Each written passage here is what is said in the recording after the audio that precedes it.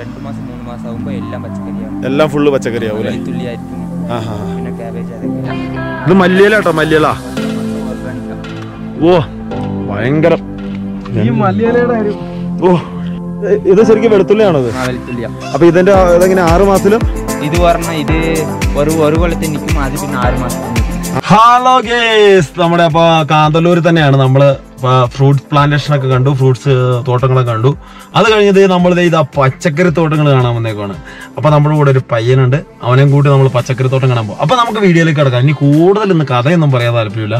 Video ആദ്യമായിട്ട് കാണണമെങ്കിൽ ഒന്ന് സബ്സ്ക്രൈബ് ചെയ്തിട്ട് ആ ബെല്ലൈക്കൺ കൂടെ ഒന്ന് ക്ലീൻ അടിച്ചിട്ട് പോക്കോട്ടോ അപ്പൊ നമുക്ക് വീഡിയോയിലേക്ക് കിടക്കാം. ഓക്കെ നമ്മൾ കാന്തല്ലൂർ പെരുമലയിലെത്തി കേട്ടോ.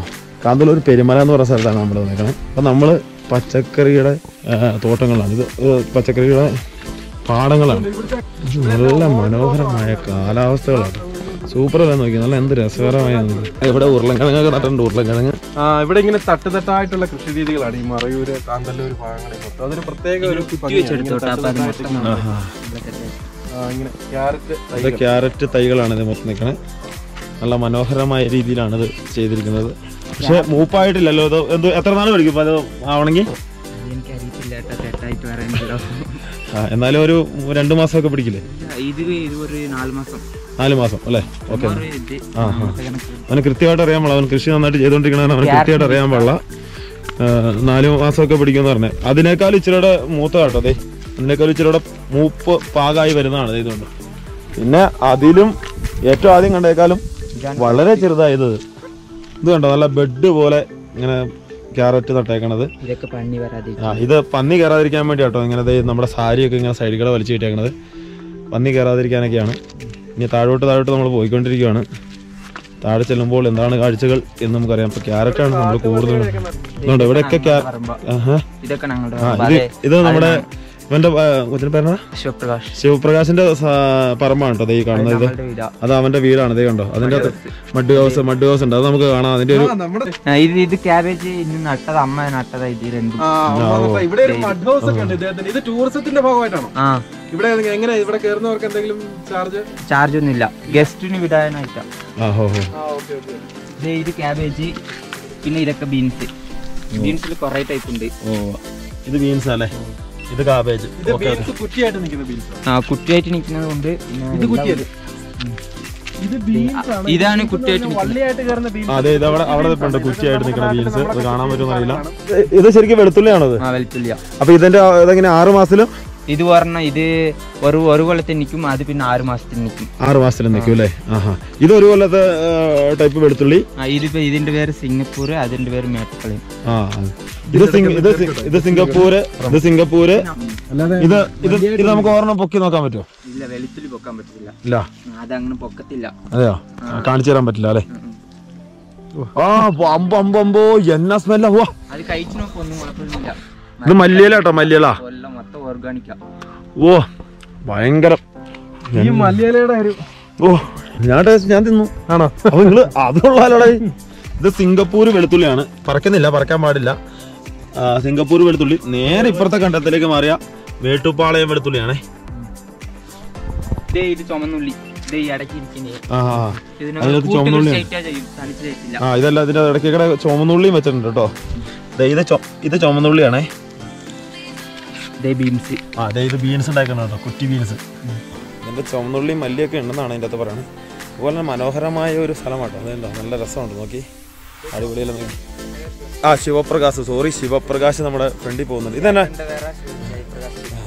ഇത് ഏതാ ഇത് ക്യാബേജിന്റെ തൈ. ഇത് Cabbage. ഇട്ടിട്ട് പിന്നെ അടുത്ത് ഇത് അടുത്ത് നടന്നുണ്ട് അങ്ങനെ അതാ അതിന് അവിടെ നട്ട് വെച്ചിട്ട് ആഹാ ഇതിന് വിത്ത് ഇത് വിത്ത് പായേക്കനാണ് അപ്പൊ നിലവിൽ? അപ്പൊ ഇതിഞ്ഞ് പറിച്ച് നടണം അപ്പുറം അല്ലേ? Okay okay. ഇത് മൊത്തം ബീൻസ് ആണല്ലേ?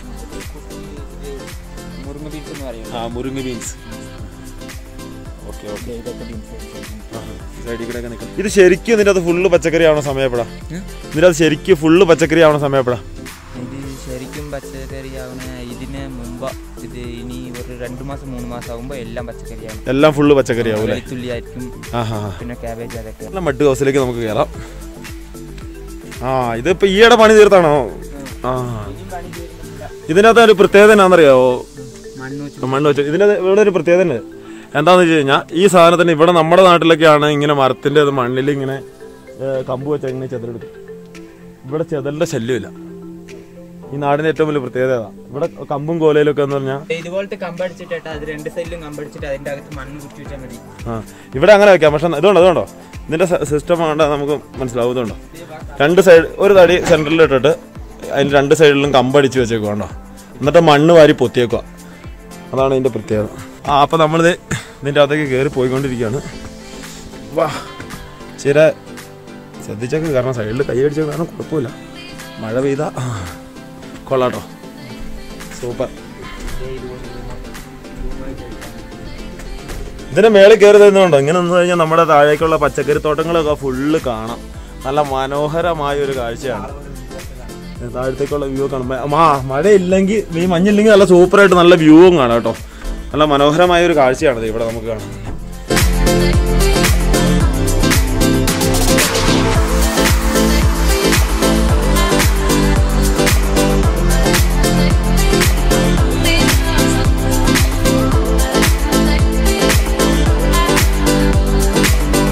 എന്തായിരിക്കും തന്നെ റൂം റെന്റൊക്കെ ഇത് പണിത് കഴിയുമ്പോൾ കൊടുക്കാൻ നിങ്ങൾ ഉദ്ദേശിച്ചേക്കണേ? ഒന്നും പ്ലാനില്ല. സെറ്റ് ചെയ്തിട്ടല്ലേ വിടാൻ പറ്റും നിങ്ങൾ ആരൊക്കെ ഇത് ഞാൻ ചേട്ടനെ ഇനി ഒരു ചേട്ടനെ പണിക്ക് വിളിച്ചത്. കൊള്ളാം. നല്ല ഐഡിയ ആണ്. കുഴപ്പമില്ല. നല്ല ഭംഗിയായിട്ട്. കമ്പൊക്കെ ഞാൻ ഞാൻ തന്നെ അടിച്ചു. ആഹാ, ആഹാ. ഇത് ഇത് ഈ ഡിസൈൻ കൊള്ളാം.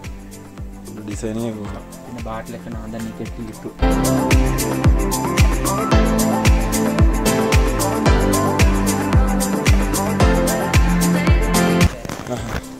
നല്ല കാബേജിന്റെ നല്ല ഗംഭീരമായൊരു തോട്ടം. കാബേജിന്റെ തോട്ടം എന്ന് പറഞ്ഞാൽ ഗംഭീരമായ തോട്ടം. പക്ഷെ എന്നാന്നറിയോ? തണുപ്പെന്ന് പറഞ്ഞ എന്റെ പൊന്നെ ഒന്നും പറയാൻ പാടില്ല. മരച്ചിട്ട് വേണ്ട ചവിട്ടിട്ട് മരച്ചില്ല അതുണ്ടോ നല്ല ഭംഗിയായ കാബേജ് ഇതുണ്ടോ കാബേജികളെ ആ അത് നല്ല സൂപ്പർ കാബേജിന്റെ ഒരു തോട്ടം തന്നെ. കാബേജിന്റെ ഒരു തോട്ടം എന്ന് പറഞ്ഞാൽ നല്ല സൂപ്പർ തോട്ടം. ദേ ഇതുണ്ടോ. ഇങ്ങനെ നല്ല ഇതിലിങ്ങനെ നല്ല കാബേജിന്റെ തോട്ടം. നല്ല നല്ല ഭംഗിയായ കാബേജുണ്ട് മനോഹരം. വൈ. ഇത് കണ്ടോ നിങ്ങൾ ശരിക്കും നോക്കിയ. കാബേജ് ഇങ്ങനെ ഒത്തിരി ഇതെന്നുണ്ടോ സംഭവമായിട്ട് കാബേജ് നിൽക്കണുണ്ടോ എന്ത് രസമാണെന്ന് നോക്കി നല്ല മനോഹരമായ ഒരു കാഴ്ചയാണ്. വാ സൂപ്പർ. ഒന്നും കണ്ടില്ല. ബാക്കിയുള്ള സാധനങ്ങളെല്ലാം ചെറുതായിരുന്നപ്പോഴും ഇത് നല്ല സൂപ്പറായിട്ട് കാബേജ് ഉണ്ടായിട്ടുണ്ട്. അത് ഏറ്റവും വലിയ സംഭവം എന്നാണെന്നറിയോ ഇതുകൊണ്ട് ഇതിന്റെ അകത്ത് ഇതിനെല്ലാം കളർ മാറി നിൽക്കണുണ്ട് ഇതെല്ലാം ചീഞ്ഞു പോയതാ. മഴ കാരണം ചീഞ്ഞു പോയതാ. ഇതാണ് ഈ കർഷകരുടെ ഏറ്റവും വലിയ ബുദ്ധിമുട്ട് എന്ന് പറയുന്നത്. ഇതിന്റെ അകത്തൊക്കെ ചീഞ്ഞു വെക്കണുണ്ടോ കുറേ ഇതുണ്ടോ? ഇതൊക്കെ മഴ കാരണം പോയതാ. ഇതുണ്ടോ. ഇതൊക്കെ വിളഞ്ഞ വിളഞ്ഞ കാബേജാണ് ഇതുണ്ടോ? ഇതുണ്ടോ? നല്ല സൂപ്പറായിട്ട് വിളഞ്ഞത്. ഈ ചീഞ്ഞു പോയതൊക്കെ ഇപ്പം അതുപോലെ ഈ ഒരു കാലാവസ്ഥ ദേ ഇതുപോലത്തെ കാലാവസ്ഥ കാരണമാണ് ഈ കാബേജൊക്കെ ശരിക്കും പറഞ്ഞതുകൊണ്ട് അപ്പുറം നമ്മൾ കണ്ട കാബേജ് പോലെ അല്ലതുകൊണ്ട് ഇതിനെല്ലാം ഒരു ഇല ഇല മൊത്തം മങ്ങി നിൽക്കുക അതുകൊണ്ടോ ഇതൊക്കെ നല്ല ഇതാണ് സൂപ്പറായിട്ട് മൂത്താനുണ്ടോ ഇങ്ങനെ കാബേജിനൊക്കെ ജീവനോടെ കാണുമെന്ന് പറഞ്ഞാൽ ഭയങ്കര ഹൃദയരാഗം ചങ്ക് മടുത്തതേ. മഴുവൊക്കെ തോളെ വെച്ച് നിൽക്കണ പോലെ നിൽക്കണേ മഴ ഏതാണ്ട് വെട്ടി പിടിക്കാൻ പോകുന്നുള്ളൂ. മഴുവൊക്കെ തോളെ വെച്ചോണ്ട് നിൽക്കണ പോലെ നിൽപ്പുണ്ട് എന്തായാലും ഞങ്ങൾ ശരിക്കും മടുത്തു കേട്ടോ. ഒന്നാമത്തെ കേസ് ഞങ്ങൾ ഭക്ഷണം ഒന്നും കഴിച്ചിട്ടില്ല അല്ലേ?